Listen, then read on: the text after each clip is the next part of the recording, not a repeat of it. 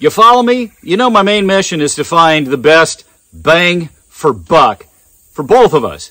Everyone has heard you get what you pay for, but we've also unfortunately experienced when that fell true. We can also say, why pay more than you have to? And that holds true just as often. Now, I've heard from many of you over the years, I need to try BCA, Bear Creek Arsenal. You know, I was told you get the maximum QPC. That's my coin, a phrase, quality, performance at cost. And, you know, it's huge. We all want the most QPC. Now, I recently tested their 6.5 Grendel. You know, watch it and decide for yourself what you think the QPC is. What I want to do now is I want to check out BCA's 308 and you decide what you think. Here we go. Check this out.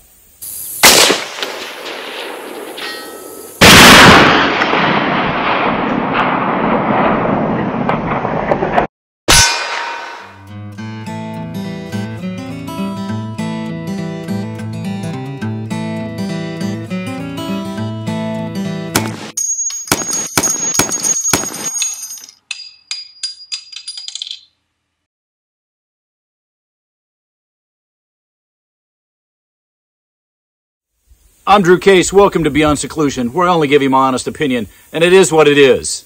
Now, a lot of folks are looking for an AR-10 for hunting and longer range than the AR-15. BCA offers one of the cheapest. You know, how's the quality?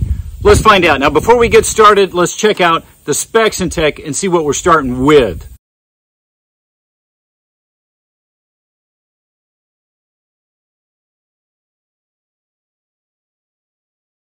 Okay, now just real quick here, I want to show you the lower that comes with the BCA.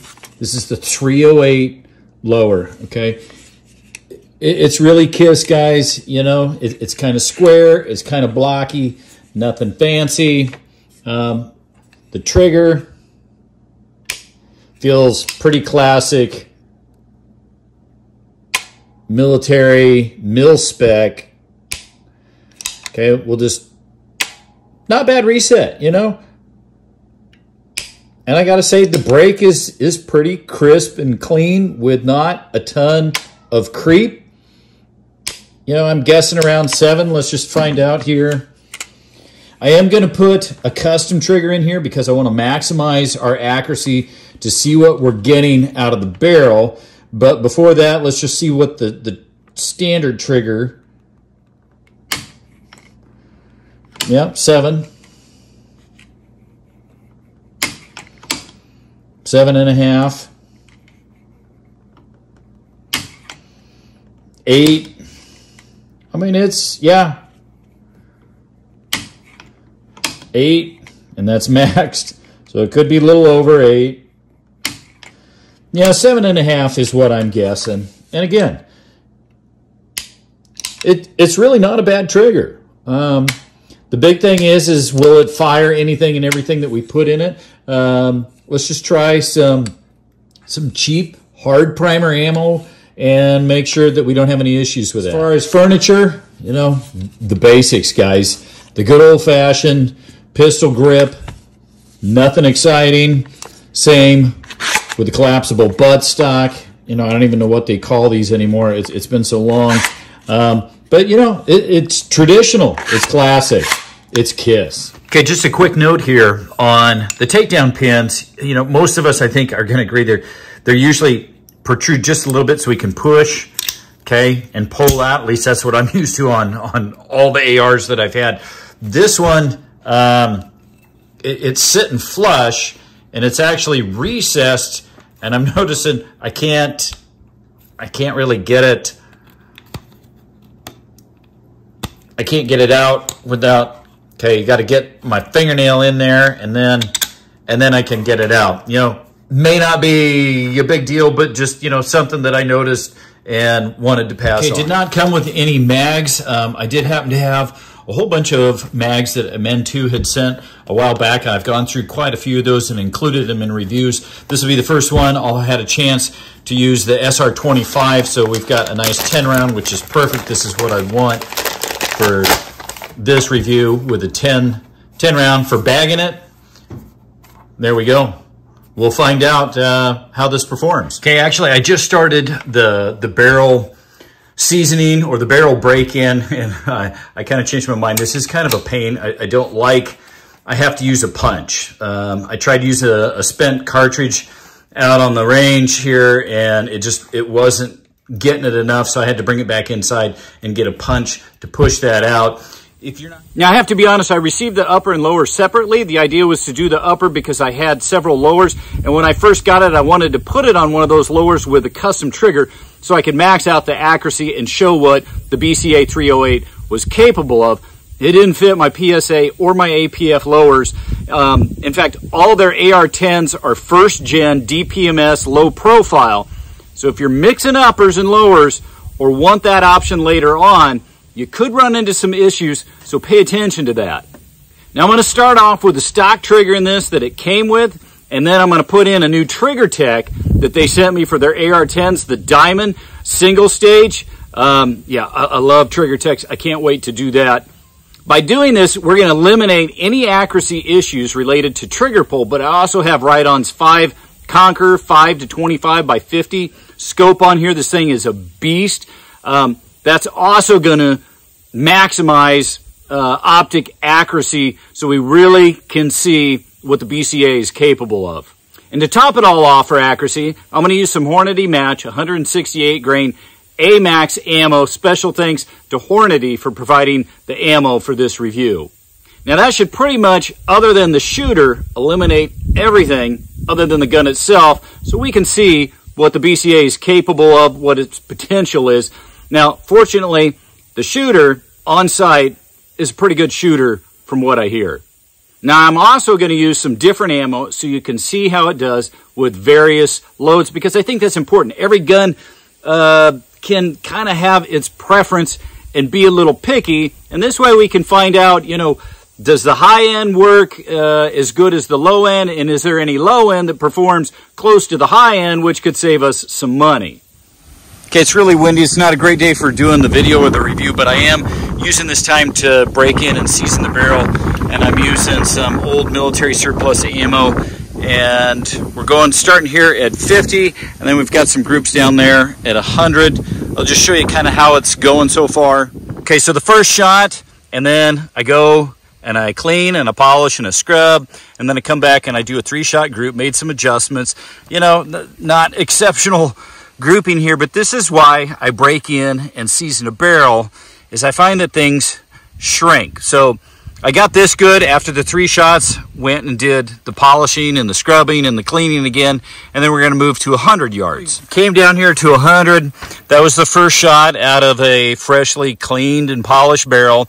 And then I had a five shot group, you know, and that's really not too bad considering where we're at in the break-in process and that it, it's really old military surplus. So what I want to do now is I was using the stock trigger. I want to fire some Tula just to, to see how it does with the stock trigger and firing some steel cased, you know, hard primer.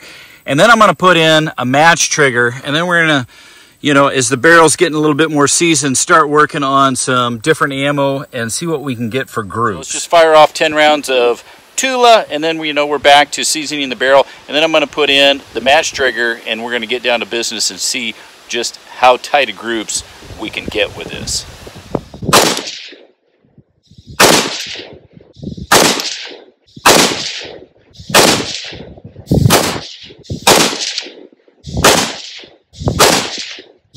I was using the Tula at 100 yards. You know, that actually is, is better than I thought it would be. That's not bad. So what I'm going to do now is, you know, we're getting fairly along in seasoning the barrel. I'm going to swap out the triggers. I'm going to put my TriggerTech trigger in there. So we've got a match trigger, again, so we can maximize our accuracy and hopefully find out just how small we can go with the Bear Creek Arsenal 308. Real quick here, we got beautiful morning. We're going to try the different ammo you know, this is what we've got here. We've got the, the Riton. I've got the TriggerTech in there and we're just going to see, you know, what we can do down there at 100. And then when we find the ammo that it likes the best, have some fun up, up there on the steel. Okay, so I'm going to start off. I've got this South Korean military surplus.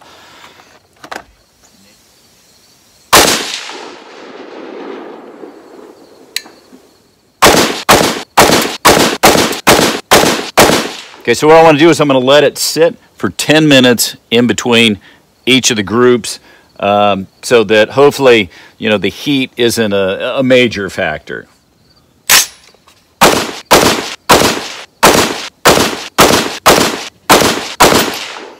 Okay, so now I've got the PPU. This is the M80. Some good stuff, guys. Um, talk about bright, shiny brass. Anyway, I've had good luck with it. Let's see what we can get for some groups.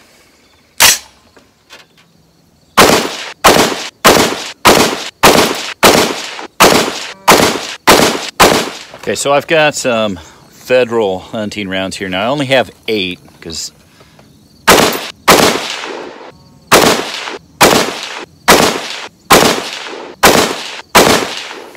Okay, let's give some of this Hornady match a try. See how uh, see how small we can get.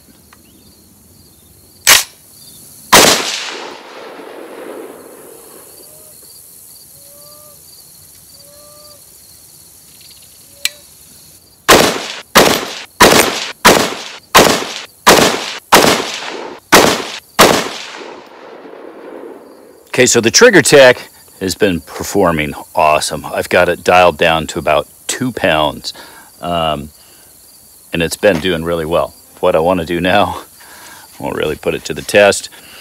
I'm going to test some Tula ammo and see how that does.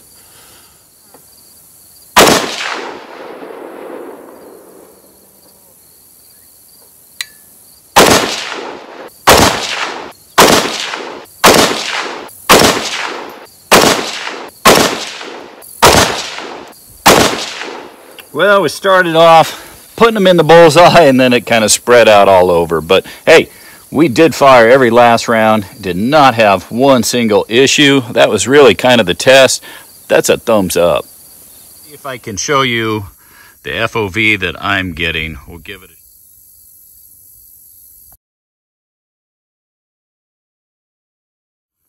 You can see there the groups. So this is what I'm seeing at 100 yards. Okay, so you were looking through the scope with me. Let's just go down and take a closer look at those.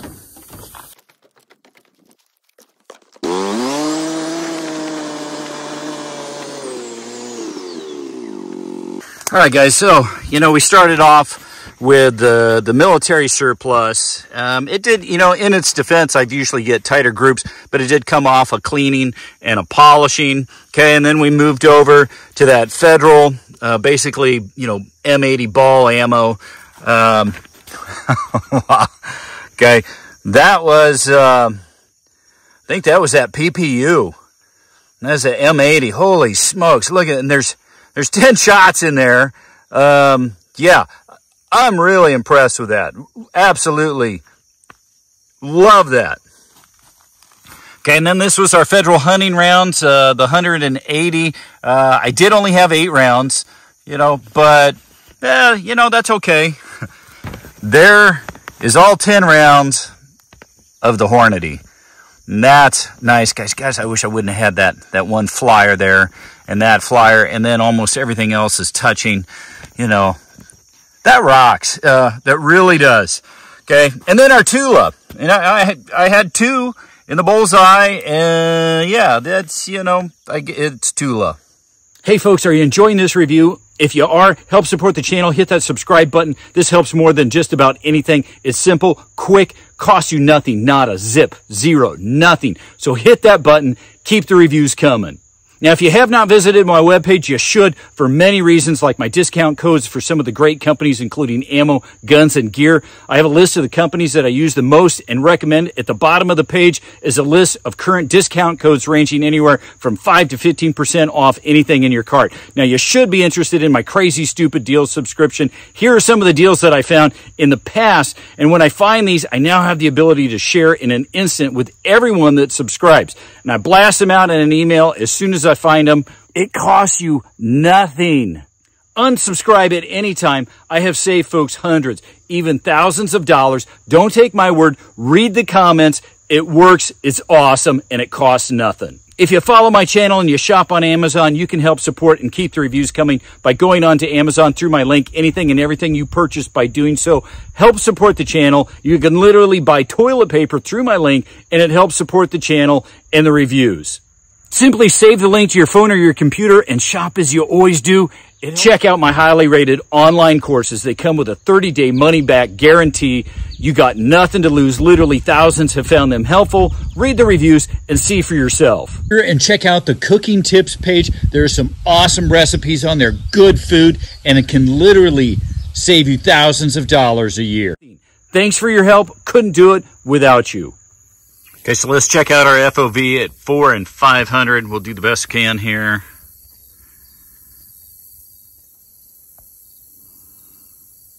So this is one of the advantages of having a first focal plane.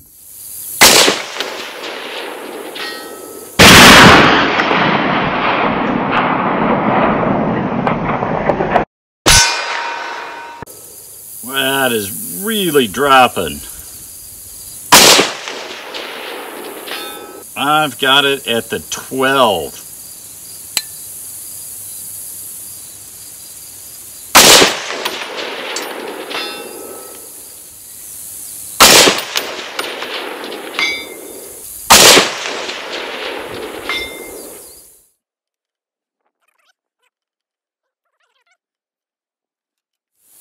Okay, moment of truth here. And uh, I also got my long shot going. I'll show you that.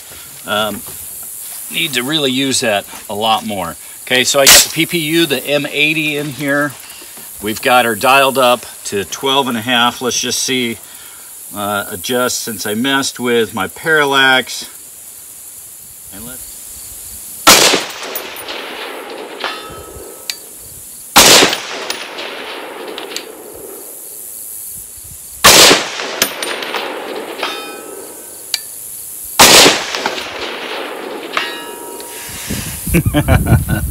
nice. There you go, guys. Nice. Okay. that is right spot where my dot was. I kid you not. All right, let's try uh, the 12 incher.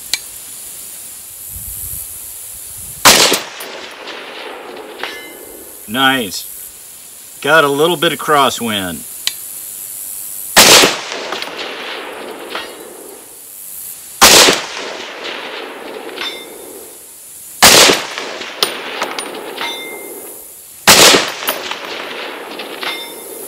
Nice, guys. That's a 12 inch target.